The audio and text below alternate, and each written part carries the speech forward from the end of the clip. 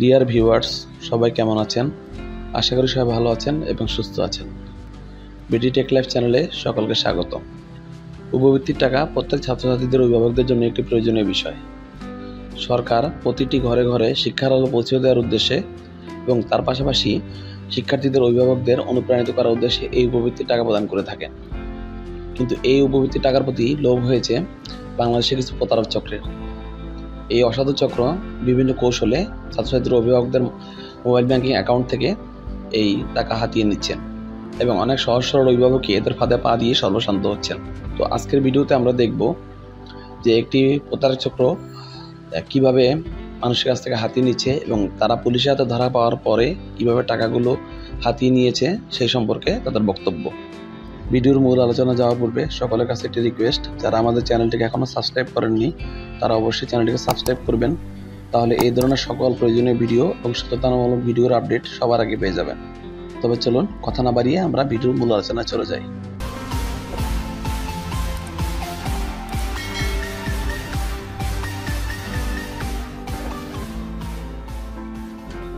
যেখানে বাংলাদেশ সরকার মেধাবী ছাত্রছাত্রীর কল্যাণে উপবৃত্তি টাকা দিচ্ছে বিকাশ এবং নগদের মাধ্যমে। আর সেই বিকাশ এবং নগদের টাকা হাতিয়ে নিচ্ছে একটি প্রতারক চক্র বিভিন্ন কৌশলে, যেখানে বঞ্চিত হচ্ছে মেধাবী ছাত্রছাত্রীদের ব্যয়বার বহন খরচটি।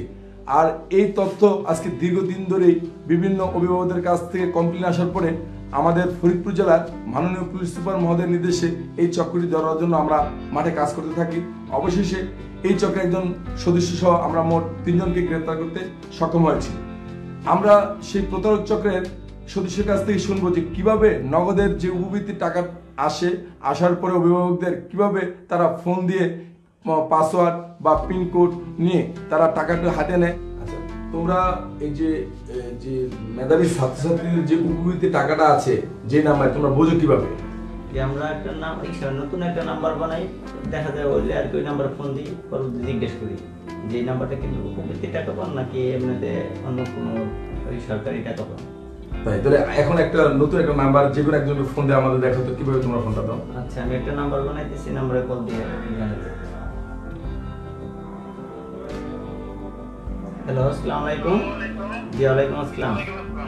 জি ঢাকা নগদের অফিস থেকে বলছি। স্যার আপনার এই যে নাম্বারটি ব্যবহার করতেছেন এই নাম্বারটা যে সরকার থেকে যে উপবৃত্তির টাকা পান আপনার বাচ্চা যে স্কুলে লেখাপড়া করে টাকা পাইছিলেন?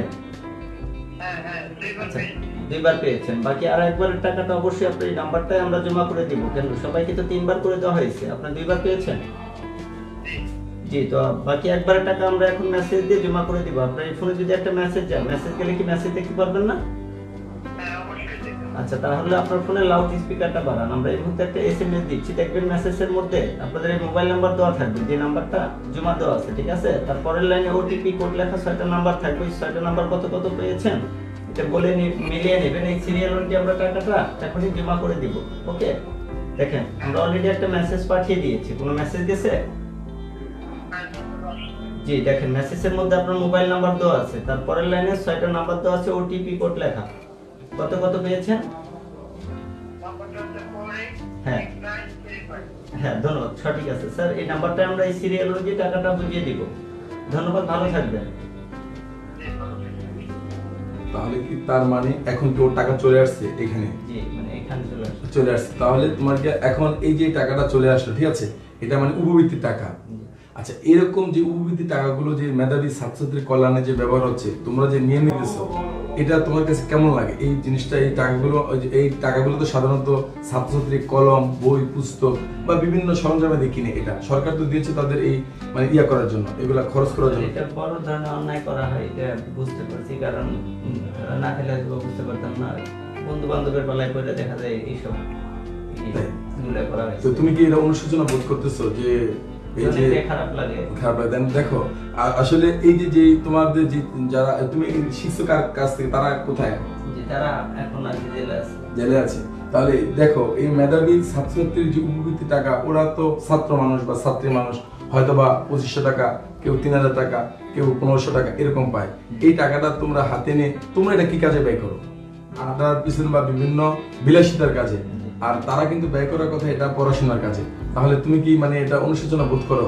যে অবশ্যই অনেক বড় ধরনের হয়তো বা ভুল করছি। আচ্ছা তাহলে তুই পরবর্তীতে যে তুমি আচ্ছা চেষ্টা করব। করব না। আচ্ছা তোমাকে আমরা যে জেলে পাঠাবো জেলে পাঠানোর পরে তুমি আসার পরে কি তোমার গিয়া এই ধরনের আর কোনো অপরাধের সাথে তুমি জড়াবা? এইসবের মধ্যে আর যাওয়ার ইচ্ছা নাই। তাই?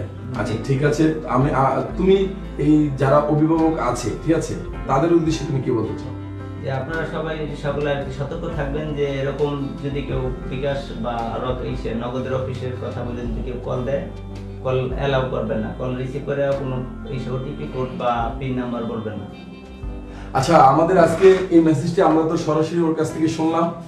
তো যাই হোক, আমি আমাদের সকল যারা মেধাবী ছাত্রছাত্রী, অভিভাবক রয়েছেন বা পিতামাতা রয়েছেন তাদের কাছে এরকম অনেক প্রত্যক্ষ সদস্যই ফোন দিতে পারে আপনাদেরকে ফোন দিলে এই যে উনি যেভাবে কথাগুলো বলল, এভাবে আপনারা কোনোভাবে ফাঁদে পা দেবেন না।